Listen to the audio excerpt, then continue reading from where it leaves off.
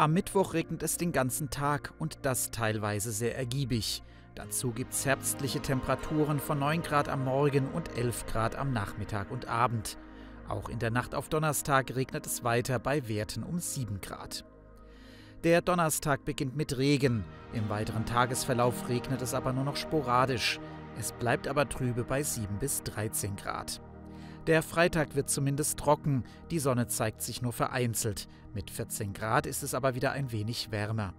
Und der Samstag beginnt zunächst freundlich, bevor gegen Mittag neuer Regen aufzieht.